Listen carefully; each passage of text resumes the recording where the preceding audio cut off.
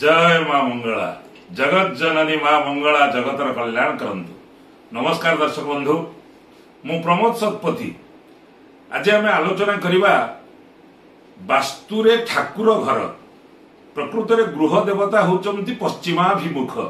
ଗୃହ ଦେବତା କହିଲେ ଚଉରା ପାଣି ବା କୂଅ ଏବଂ ଚୁଲି ଅଗ୍ନି ଏବଂ ସୂର୍ଯ୍ୟଙ୍କର ତେଜ ଏବଂ ବାୟୁ ବା ପବନ ଏଇ ସବୁକୁ ନେଇକିରି ଆମର ପିଣ୍ଡ ବା ଯଥା ପିଣ୍ଡ ତଥା ବ୍ରହ୍ମାଣ୍ଡ ବା ଯଥା ବ୍ରହ୍ମାଣ୍ଡ ତଥା ପିଣ୍ଡ ଏଇ ସୂତ୍ରରେ ଆମର ଐଶାନ୍ୟ କୋଣରେ ଘରର ବାସ୍ତୁର ଐଶାନ୍ୟ କୋଣରେ ଯଦି ଠାକୁର ଘର କରୁଛନ୍ତି ତାହେଲେ ପୂର୍ବ ଦିଗରେ ଠାକୁରଙ୍କୁ ରଖନ୍ତୁ ଏବଂ ଯେଉଁମାନେ ପୂଜା କରିବେ ସେମାନେ ପୂର୍ବକୁ ମୁହଁ କରି ଠାକୁରଙ୍କୁ ପୂଜା କରନ୍ତୁ ବା ପ୍ରଣାମ କରନ୍ତୁ ବା ମନ୍ତ୍ର ଜପ କରନ୍ତୁ ତାହେଲେ ଦେଖିବେ ନିଶ୍ଚୟ ସିଦ୍ଧି ହେବ ଏବଂ ଠାକୁରଙ୍କର ଆଶୀର୍ବାଦ ମିଳିବ ପ୍ରକୃତରେ ଠାକୁର ହେଉଛନ୍ତି ଆମର ପିତୃପୁରୁଷ ବା ବାପ ମା ଜେଜେ ଜେଜେମା ଏଇମାନେ ହେଉଛନ୍ତି ଆମର ଠାକୁର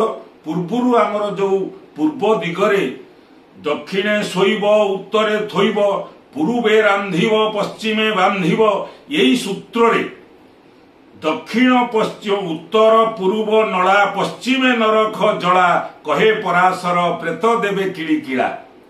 ୟାକୁ ଯଦି ଆମେ ହିସାବକୁ ନବା ତାହେଲେ ଅନେକ ଆଲୋଚନା କରିବାକୁ ପଡିବ। ତେବେ ପ୍ରକୃତ ଘଟଣା ହଉଛି କଣ?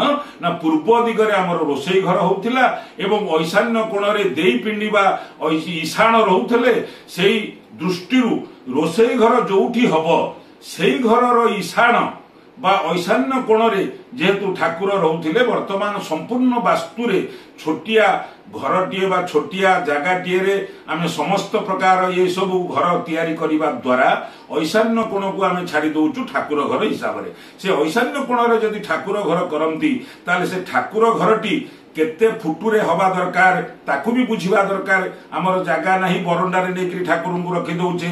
ଇଏ ଏସବୁ କରିବା ଦ୍ୱାରା ଆମେ ପାପରେ ଭାଗି ହଉଛେ ବା ରୋଗରେ ପୀଡ଼ିତ ହଉଛେ। ସେଥିପାଇଁ ଗୃହର ବନ୍ଧ ପକେଇ ବା ଭାଗ ନେଇ କେତେ ଫୁଟୁରେ କେତେ ଫୁଟୁ ଘରଟିଏ କରିବେ ଶୁଭ ମୁହୂର୍ତ୍ତରେ ଶୁଭ ସମୟରେ ଘରଟିଏ ଆରମ୍ଭ କରି ଶୁଭ ସମୟରେ ଗୃହ ପ୍ରବେଶ କରି ଏବଂ ଐଶାନ୍ୟ କୋଣରେ ଠାକୁର ଘରଟି କରିଥିଲେ ପୂର୍ବ ଦିଗରେ ଆସ୍ଥାନ କରିବେ ଏବଂ ଠାକୁର ମାନଙ୍କୁ ପୂର୍ବ ଦିଗରେ ରଖିବେ। ଘରର ସମସ୍ତ ଯେଉଁ ଆସବାବ ପତ୍ର ଠାକୁରଙ୍କର ସେ ସବୁ ଆସବାବ ପତ୍ର କୋଉଠି କେମିତି ରଖିବେ ସେଇଟା ବି ନିହାତି ଜାଣିବା ଦରକାର। ତେଣୁ ଘରର ବା ଯୋଉ ଠାକୁରଙ୍କର ଯୋଉ ଆସବାବ ପତ୍ର ଇଏ ସବୁ ବାୟୁ କୋଣରେ ଯଦି ରଖନ୍ତି ତାହେଲେ ଅତ୍ୟନ୍ତ ଶୁଭ।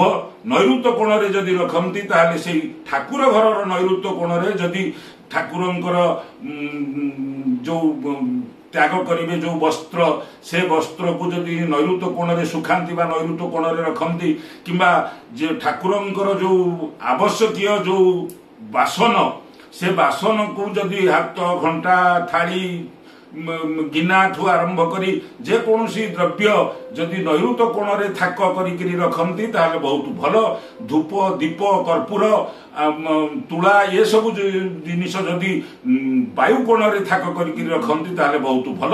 କିନ୍ତୁ ପୂର୍ବ ଦିଗରେ ଠାକୁର ଘରେ ଝରକା ରଖିବେନି ଉତ୍ତର ଦିଗରେ ବରଂ ଝରକା ରଖିପାରିବେ ପୂର୍ବ ଦିଗରେ ଝରକା ରଖିବେନି ଆସ୍ଥାନ ଯୋଉଠି ରହିବ ସେଇ ଆସ୍ଥାନ ଉପରେ ଯୋଉ ଇଷ୍ଟ ଦେବଙ୍କୁ ସ୍ଥାପନ କରିବେ ବା ଆମର ମାଣ ହାଣ୍ଡି ବା ମାଣ ଜିନିଷ ଯୋଉ ତୋରେ ରହୁଛି ସେଇ ଜାଗାରେ ରଖିବେ ଐଶାନ୍ୟ କୋଣରେ କିରି ରଖିବେ ସେ ଆସ୍ଥାନ ଉପରେ ଐଶାନ୍ୟ କୋଣରେ କିରି ଠାକୁରଙ୍କୁ ବା ମାଣ ହାଣ୍ଡି ରଖିବେ।